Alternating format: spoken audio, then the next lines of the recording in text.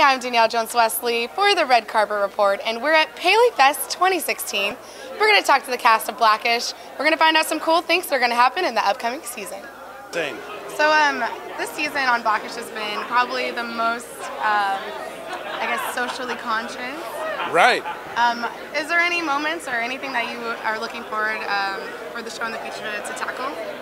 Wow, that's a great question. Um, you know, I, I got to say, with the episode of Hope, the one that dealt with police brutality, I, I I still think that that show is is there's so much latitude that one can do with that. Right. The reverb of what that is on a, on a daily basis, being black in any community, and walking out outside of what is a safe zone into.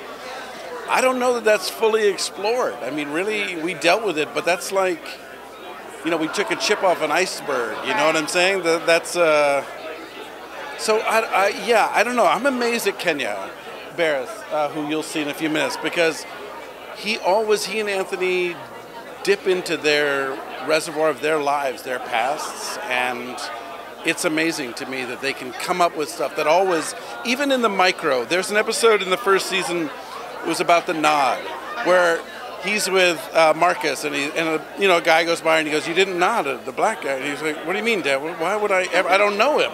Says, "When you see a brother around, you nod at him." And he's like, "Why would I ever do that?" And so the thing was amazing about that. It was a completely truthful cultural thing. Like that's what you do, Right. and that was a perfect microcosm of what the show's about.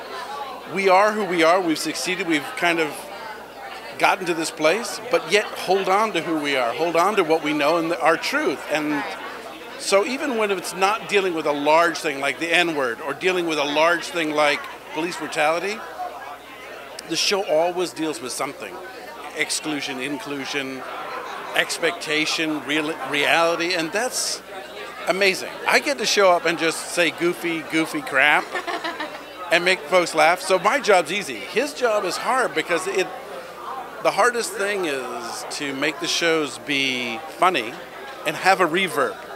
Because if it's just funny, it just becomes Fresh Prince, which is fine. But the thing that makes this show something that I'm so proud of is I really feel it has relevance. It has a relevance to it Like and weight.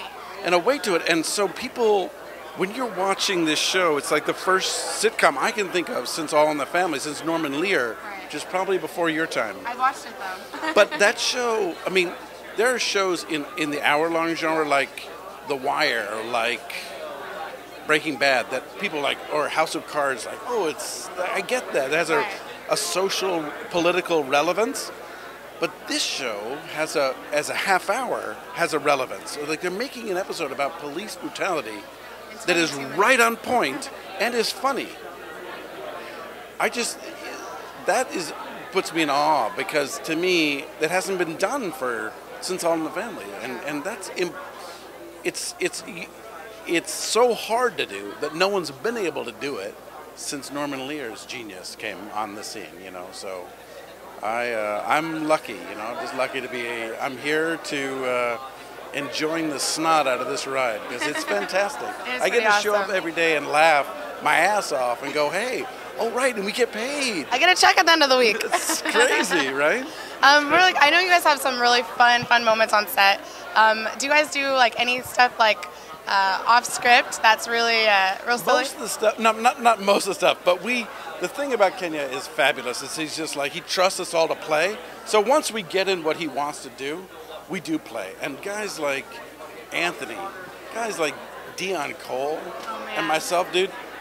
It's so much fun. It's just like, um, can we get back to what we're doing? Because we started with this, and now it's become this, and then it became this, and we're like, we don't care. It's like run it with it, figure that shit out, make it make it was funny. So, yeah, no, there's huge room, and it's the most exciting fun.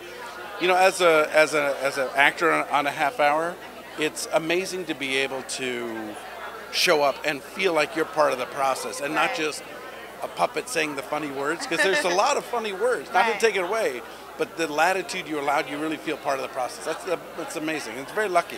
Yeah, it's not. It doesn't always happen that way. A lot of people say, no, no, no, write the shit that I wrote. That's the funny stuff. Like, "Mm, all right. You know what I'm saying? make- yeah. color it. no, with Anthony and Deon, dude, it's just like it's it's explosive and it's fabulous. I love it. I love it. I'm Thank very you so lucky. much. And Nice, to meet, you. If you like our coverage, make sure you click like and subscribe and comment below and tell us who's your favorite TV dad. Yes, yes, I do. yes, you do. See, look what he's doing. Look what he's doing. I'm not. Do not be violent. You try to the guts out of Respect your Oh, elders. look, guys.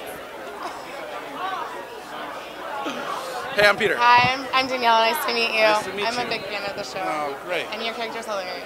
Yes, there is. Are we good? And